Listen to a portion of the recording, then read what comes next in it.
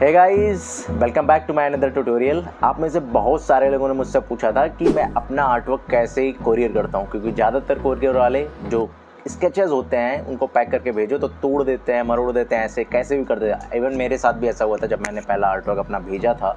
Then उसके बाद customer ने मुझसे पैसे भी मांग लिए। मतलब यार, इतनी मेहनत करी, इतने मेहनत से भेजा एंड फिर कस्टमर ने पैसे भी मांग लिए तो भाई बुरा लगता है। एंड इसीलिए आप लोगों के साथ ऐसा कभी हादसा ना हो तो मैं आपको सारे सेफ्टी प्रोसीजर्स अच्छे से बताऊँगा एंड वो डिटेल्स आप लोग अच्छे से देख लेना, कैसे आपको कोरियर सेंड करना चाहिए जिससे आप लोगों के पैसे वापस ना मांगे जाए।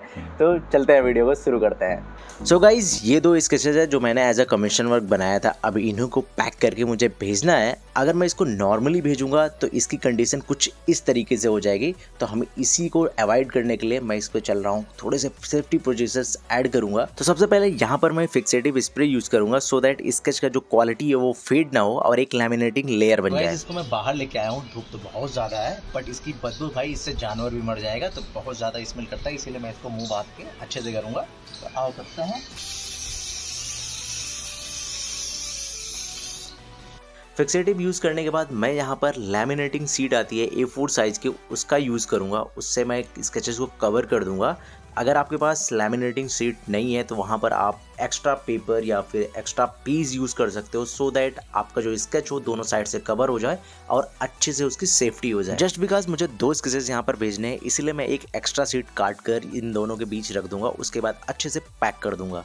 पैकिंग करते समय आप हमेशा मास्किंग टेप का यूज़ करना डायरेक्टली सेलो टेप का यूज़ नहीं करना है। अदरवाइज़ जब आप इसको अनपैक करेंगे तो आपका स्केचेस खराब होने के चांसेस रहते हैं। इसके बाद आपको लाने हैं एम डी एफ़ कार्डबोर्ड आप अगर इसको ऑनलाइन लेते हैं तो आपको ए फोर साइज़ का ऑलमोस्ट सिक्सटी रुपीज़ का एक मिलेगा।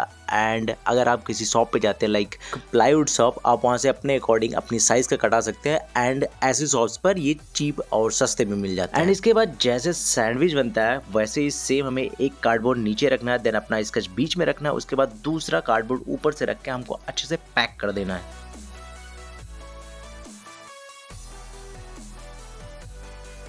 टेपिंग करने के बाद आपको ऐसे ही बड़े बड़े से चार्ट पेपर लाने हैं। अगर चार्ट पेपर नहीं है तो आप वहाँ पर एनवलप भी ला And सकते हैं। इसके बाद अगर आपको थोड़ा सा डिज़ाइन बनाना है कुछ अच्छे मैसेजेस लिखने हैं तो उसके लिए आप कुछ ना कुछ स्टिकर्स वगैरह काट पीट के बना के रंग करके जो मर्ज़ी हो आपका वैसा डिज़ाइन करके आप पैक कर सकते हैं।